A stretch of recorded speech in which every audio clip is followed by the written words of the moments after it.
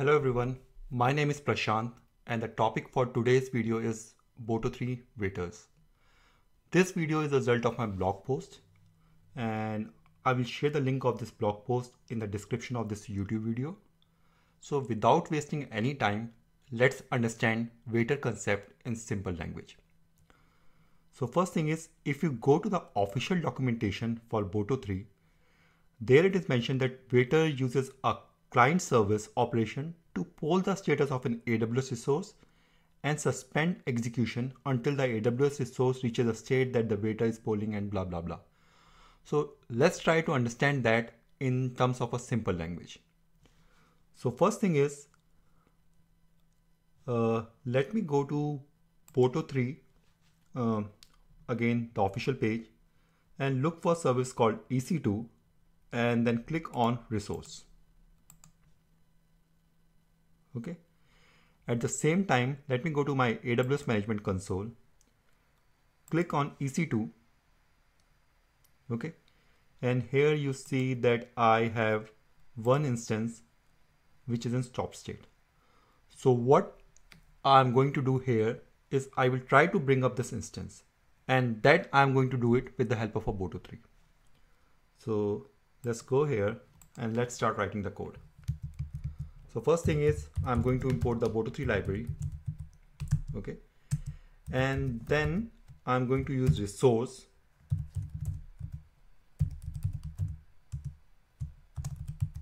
to connect to my EC2, right?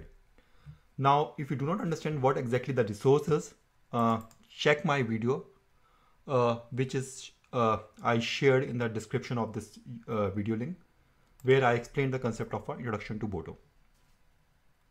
Okay. Now, if you go back to this Boto3 documentation page, and this is a service resource. So if you go down and here you will see something called instance.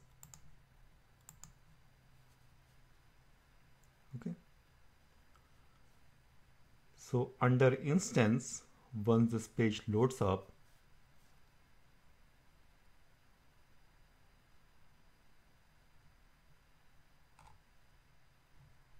okay, I think instance, uh, still no. Okay, so this one. So instance equal to ec2 dot instance dot id. So let me go here. So what exactly I'm trying to do? Uh, I'm trying to connect to this instance and I will supply the EC2 instance ID which I will get it from here. Okay. Now I don't know what are the other operations I can do on the top of it. Either I can check it here in that page, this one, or I can use a dir method on the top of it. So I can use dir. Okay. And here you see a bunch of actions which are supported out of which for example this reboot state stop and there you can see somewhere start okay so first let's try to check the state of this instance state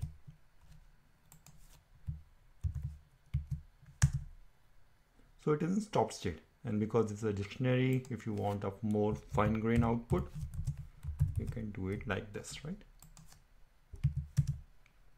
So it is in stop state. So earlier we have saw that we can start we have a start method. So to start this instance I can simply do instance dot start. Okay. And before doing that let me write some print statement we'll say starting ec2 instance. And once this has been started I will say ec2 instance started. Okay let me execute this code. And he'll say starting EC2 instance, EC2, EC2 instance started. Now, if I go back to my AWS management console, refresh this, it will say this instance is still in pending state. And this is one of the major issue, right? So as you can see, when we try to stop or start the instance, the request which we or not stop when we try to start the instance, the request is not instant. Okay, because the instant instance first goes from stop to pending state and then later it will go to the running state, right? And for example, like in this case, we check back later and see that now the my instance is in running state. So my instance was in stop state. We ran that instance dot start, right? And the instance does not go immediately into started state, right? Or start state. It first goes to pending state. Now think of the cases where I am relying my instance to be fully up. So my instance to be fully up, right? And once the instance is up, I will execute some script on the top of it, some script, right? Now in this case, my script output shows that the instance is up, but actually the instance is not up, right? It takes some, it took some time for the instance to go into the, from, from pending state to the start state, right? So that is where waiters comes out handy. What waiter will do, it allows you to block the code until the process is complete. So what does I mean? Let me go here and once again, let me print this dir of instance. So if you scroll down, you will see something called wait until exists, wait until running, wait until stopped, wait until terminated. Okay. So these are the waiters. And under the hood, what exactly this is going to do? This is going to run a loop which runs every 5 seconds in a loop of 40 times. So that means it will constantly check if my instance will be started. So that means for 200 second, which is roughly, which is 320 second. And if our instance does not comes to a start state even after this like uh, 40 loops, uh, the script executed unsuccessfully. Okay, so let bring waiter into equation now you see that my instance is in running state. So let me uh, run the same script, but this time for stop. Let's try to bring to stop this instance. Okay. I will change the wording to starting to stop, stopping EC2 instance, EC2 instance stop. But let bring waiter into the equation this time. So we can use instance dot wait until stopped. Copy this.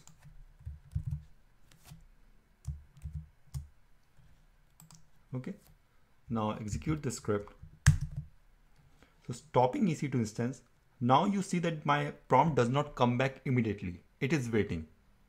And this is where waiter is blocking our code.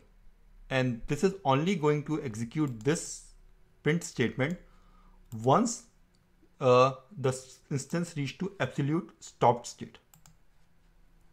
So again, it is going in loop and it is going to check every 5 seconds 40 times to see if my instance goes to a completely stop state. So now the script exited successfully and if I go back to my AWS management console, my instance should be in the stopped state. So this is the advantage of using waiters. Okay. So this waiter I showed you for resource. Similarly, we can use waiters for client. So let me write another code. Okay. And but this time we are going to use waiters for client. So let me do this. Me start a new python file. Waiter for client. Okay. Waiter for client. Uh, I will again start with import boto3 okay. Now again my instance is in stop state. So I'm going to search for waiter for client where I'm going to start the instance. So again I will go back to available services EC2 and here we have waiters. And you see we have EC2 waiter when the instance is running. Okay so let me use the client resource this time. Client is equal to boto3 dot uh, client and the service name is ec2 okay let me copy paste the code from there from the official documentation. In this case the waiter is waiting for the instance to be running. Okay waiter we're going to use the client right? Get waiter and the instance is running. We need to write some more code in case of client. So we need to use waiter dot wait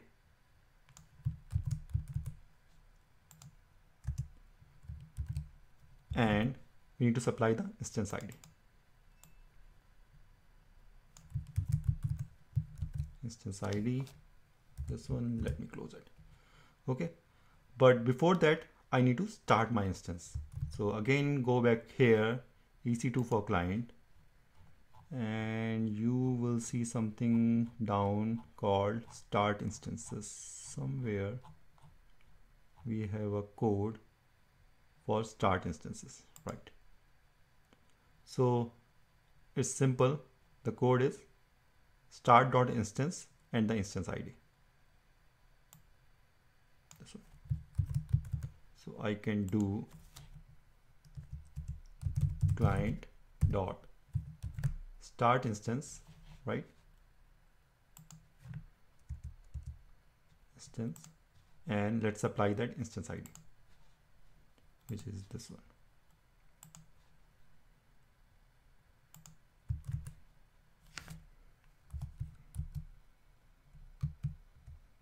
let's close this let's close this and even we need to supply the instance ID here in the case of beta. okay? And I will again write that syntax.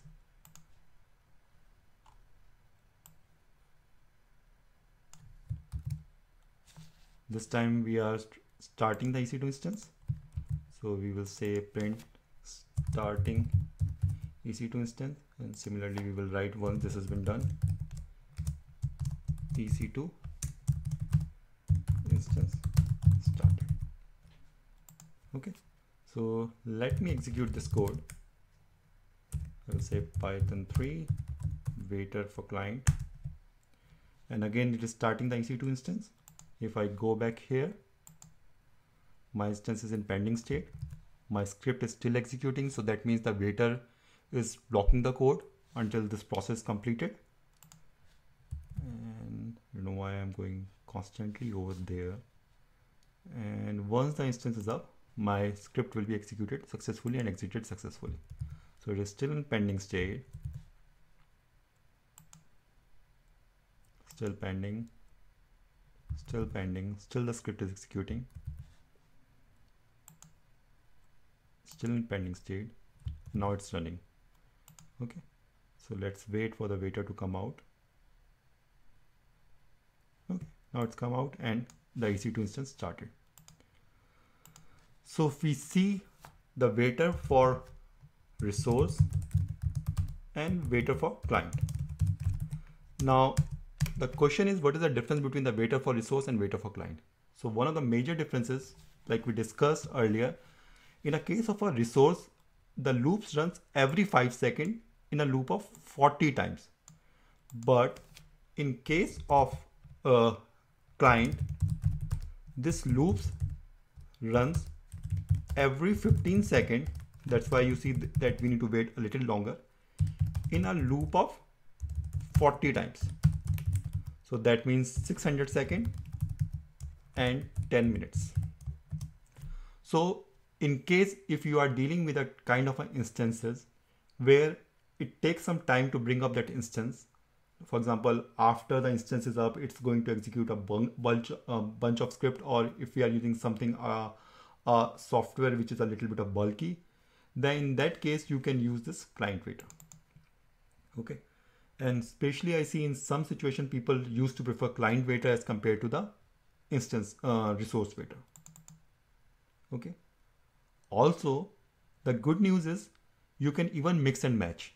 So which means you can use resource to start your instance. And you can use a client to client waiter to, uh, to wait till your instance is up. So this will give you the benefit of both the world. So you use resource so that your instance will come quickly. Uh, means you don't need to put much effort. For example, you don't, need to pass a dictionary and all those things. And you can use client waiter, which will going to wait for 10 minutes. So how to do that? I'm not going to write the code for that. I already pushed that code into my GitHub repository, but let me show you. So if you go to my GitHub repository, which is 100 days of DevOps, there is something called resource and client waiter. So if I go to the raw format and do this, here you see I'm using both the resource as well as the client, right?